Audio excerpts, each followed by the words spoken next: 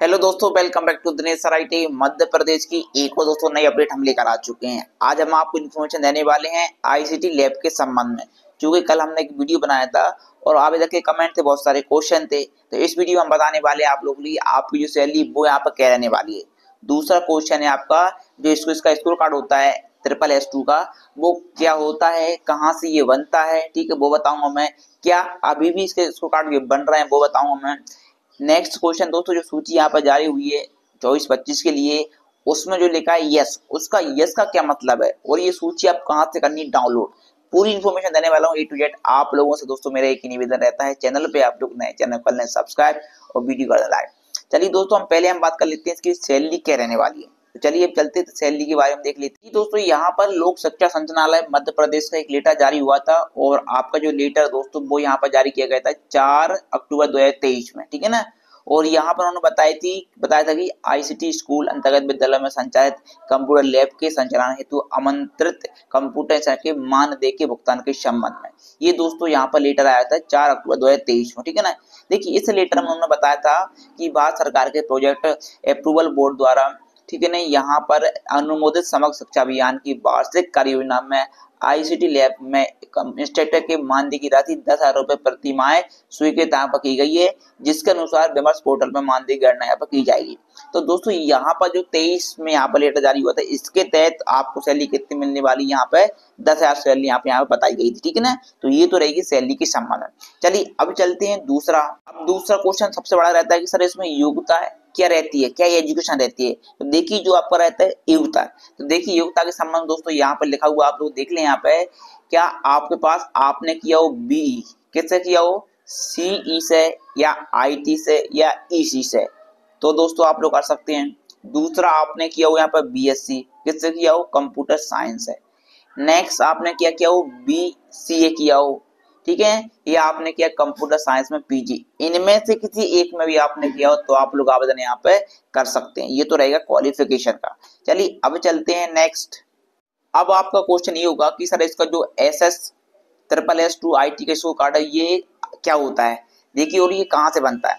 देखिए, दोस्तों बता दूँ, इस जो कार्ड होता है आपको G F M S portal जो अति शिक्षा का जो पोर्टल होता है पूरे मध्य प्रदेश का, उसको, उस पर आपको कराना पड़ता है रजिस्ट्रेशन पहला होता है रजिस्ट्रेशन रजिस्ट्रेशन के पश्चात दोस्तों, आप लोग कराना पड़ता है किसी भी संकुल में जाकर वेरिफिकेशन ठीक है ना? वेरिफिकेशन आप लोग करा, पहले आपको फॉर्म भरना पड़ेगा, फिर आपको करना पड़ेगा। ठीक है ना? रजिस्ट्रेशन मतलब फॉर्म भरोगे, ठीक है? फिर आपको किसी भी जो स्कूल अलोटेड होगा, उसमें आपको जाना पड़ेगा वेरिफिकेशन करवाने के लिए।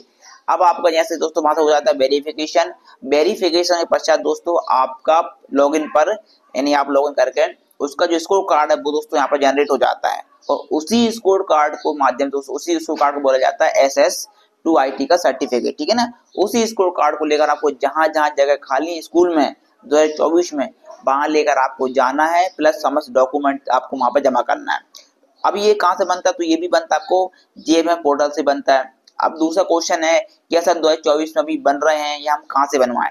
देखिए 2024 में दोस्तों अभी नहीं बन रहे हैं, यानी जिन आवेदकों के पास पहले से है, वो ही दोस्तों आवेदन कर सकते हैं, नए आवेदक इसमें अभी आवेदन नहीं कर सकते हैं, ठीक है, यहाँ पर यदि कभी खुलता है तो आप लोग बनवा लें, ठीक है, जब भी ये पोर्टल खुलता है, रजिस्ट्रेशन कराने का, ठीक है तो अभी यहाँ पर कोई नहीं हो रहा है, रजिस्ट्रेशन पहले जो है, जिनके पास वो करा सकते हैं, ठीक है ना?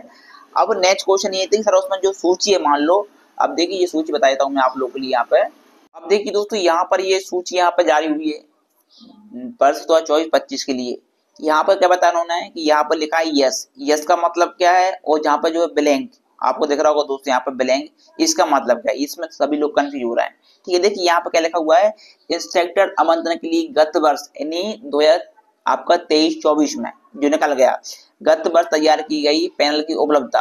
यानी जहाँ पर यस लिखा है दोस्तों, यहाँ पर जो पैनल है यानी आपको चयन करने का, वो पैनल दोस्तों यहाँ पे उपलब्ध है इन स्कूलों में। यस का मतलब ये है, ठीक है ना? कि वहाँ पर उपलब्ध है। यहाँ पर दोस्तों उपलब्ध है तो आप लोग वहाँ पे भी जमा कर सकते हैं और जहाँ पे मान कुछ नहीं लिखा है तो यहाँ पर पैनल उपलब्ध नहीं है। अब पैनल उपलब्ध नहीं है, तब कैसे सिलेक्शन होगा? पैनल उपलब्ध है, तब कैसे चलिए चलते हैं लेटर में, बताते हैं आप लोगों के लिए। दोस्तों यहाँ पर ये जारी हुआ है लेटर मेन लेटर जारी हुआ है। वो पाँच अगस्त को दोस्तों यहाँ पे जारी हुआ है 2024 में, ठीक है ना? इसके संबंध में। अब देखिए, वो मैं बात करने वाला हूँ, जैसे आपको किस पोर्टल से करना पड़ेगा रजिस्ट्रेशन पहले जिन लोगों के पास है। तो ये जो सूची है, वो कहाँ पर मिलेगी आप लोगों देखिए दोस्तों, यहाँ पर उन्होंने बताया है कि जो सूची है बेमार्स पोर्टल पर आपको मिलने वाली है। कहाँ पर? यहाँ पर मिलेगी। आप लोग ये डालोगे गूगल पर तो यहाँ से आपको मिल जाएगी इस पर सूची। और मैं बताऊँगा कहाँ से करना आपको डाउनलोड ठीक है? अब दूसरा क्वेश्चन ये बनता है, दोस्तों, ये यस नो क्या मतलब है? देखिए, दोस्तों, यहाँ पर पहले क्या लिखा हुआ आपको देख लें कि गत वर्ष, यानी दो हज़ार तेईस में तैयार किए गए पैनल सत्र दो हज़ार तेईस चौबीस में तक किए गए इंस्ट्रक्टर को पहले जो किए गए थे इंस्ट्रक्टर अमन थे तो एस एम डी सी की बैठक के उपरांत, बैठक हुई दोस्तों इनकी, मान लो तो चौबीस पच्चीस के लिए आमंत्रित किया जाए। जो पहले थे, उनको दोस्तों यहाँ पे आमंत्रित करना है, ठीक है, यहाँ पे इन्होंने बता दिया, ठीक है? अब दूसरा क्या है कि दो देखिए, बताया हुआ है कि बिंदु क्रमांक दो, यानी ये इसके क्रमांक, अनुसार इंस्ट्रक्टर के आमंत्रण कार्रवाई पूर्ण होने के पश्चात, यानी इनकी आमंत्रण पूरी होती जहाँ पैनल है, होने के पश्चात विद्यालय, शेष विद्यालय जहाँ पर कुछ नहीं लिखा है नो लिखा है। जिनमें पैनल उपलब्ध नहीं है मतलब जहाँ पर नो लिखा है नहीं मतलब कुछ नहीं लिखा मतलब वहाँ पर उपलब्ध पैनल नहीं है। तो इन्होंने क्या बताया कि उन विद्यालयों के द्वारा समय सारणी के अनुसार, जो समय सारणी यहाँ पर दी हुई नीचे ऐसे आवेदकों से अमंत्र प्राप्त करें, जिनके पास G F M S generate दो हज़ार चौबीस पच्चीस का स्कोर कार्ड ठीक है ना आई डी स्कोर कार्ड उपलब्ध हो, ठीक है? मतलब दोस्तों, जहाँ पर कुछ नहीं लिखा, वहाँ पर पैनल नहीं बना है तो वहाँ पर पैनल नहीं बना है तो विद्यालय को स्वयं दोस्तों जो यहाँ पर सारणी दी है, उसके तहत आप लोगों को उनको आमंत्रण करना है कंप्यूटर इंस्ट्रक्टर को, ठीक है ना? जिनके पास पहले से वो ही यहाँ पर जा सकते हैं, या आप लोग यहाँ पर समझ लो तो उसका यस नो का ये मतलब आपका रहने वाला है, ठीक है?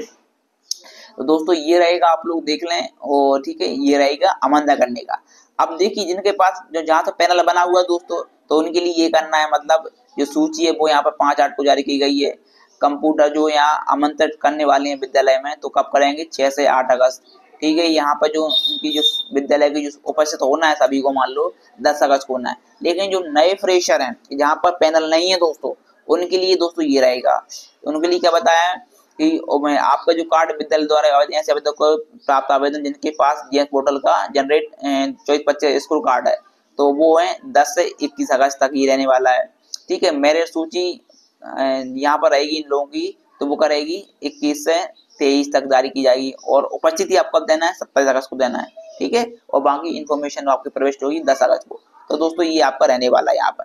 अब देखिए दोस्तों आप लोगों की जो सूची है, वो सूची कहाँ से करनी डाउनलोड तो आप लोगों को गूगल पे जाना है, यहाँ पर लिखना है बेमास पोर्टल जैसे आप लोगोगे, आपके सामने जाएगी फ़र्स्ट लिंक इस पर आपको करना है क्लिक जैसे आप लोग क्लिक करोगे, ये आपके सामने खुल जाएगा। यहाँ पर दोस्तों, आप लोगों को दिख रहा होगा आईसीटी स्कूल ठीक है? इस पर आपको करना है क्लिक तो जैसे ही आप लोग इस पर क्लिक करोगे तो इसका जो होम पेज वो हो जाएगा दोस्तों।